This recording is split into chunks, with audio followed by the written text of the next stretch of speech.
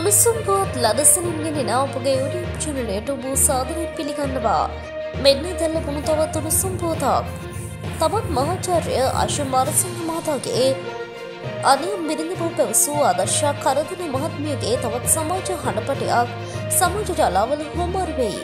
සමගී ජනපනවික පාර්ලිමේන්තු මන්ත්‍රී බුද්ධික පත්‍රන මහතා සමග අය සමාධය නිර්ත වෙනු එහි ඇසිය හැකි.